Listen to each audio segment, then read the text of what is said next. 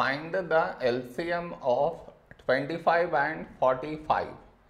To find the LCM, for that we should frame it in this way 25 comma 45.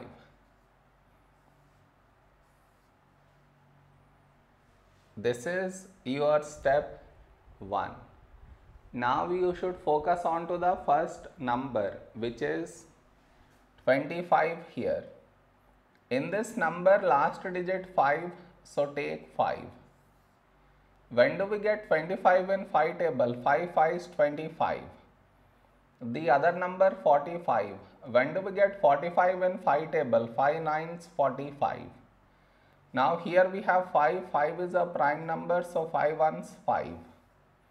The other number 9 not divisible by 5 so you write it down as it is. Now we got 1 here so focus on to the next number 9. 9 is 3 3 is 9. Now here we have 3 3 is a prime number so 3 1s 3.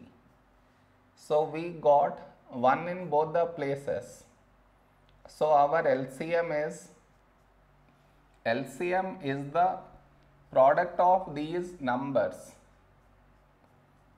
that is 5 into 5 into 3 into 3.